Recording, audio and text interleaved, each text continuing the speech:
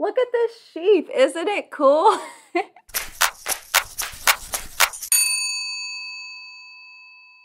Assalamu alaikum and welcome to Noor Kids Crafters.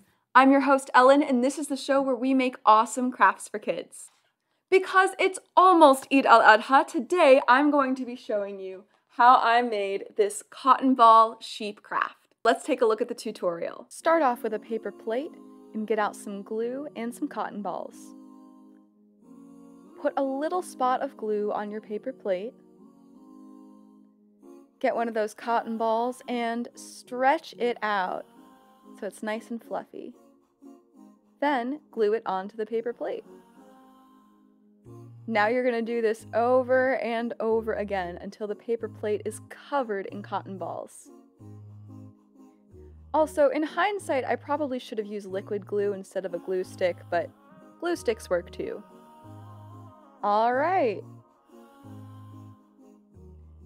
So next push that aside and get out your paper. You're actually going to save the white paper for later. But on the black paper, you are going to draw this big egg shape.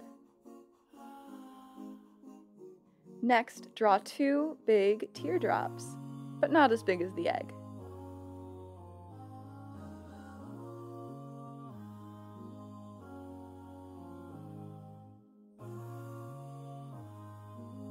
Cut them all out.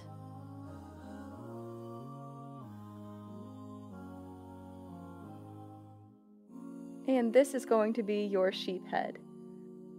Glue them all onto your paper plate very carefully in this shape.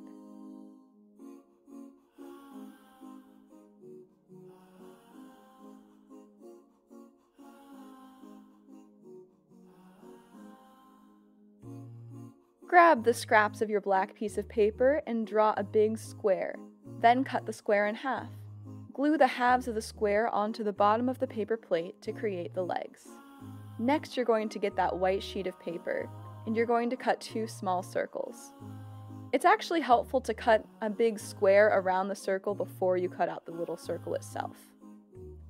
Glue them onto the sheep head, then cut out even smaller black circles Glue them to your sheep's face to make its eyes. And voila, there's your sheep.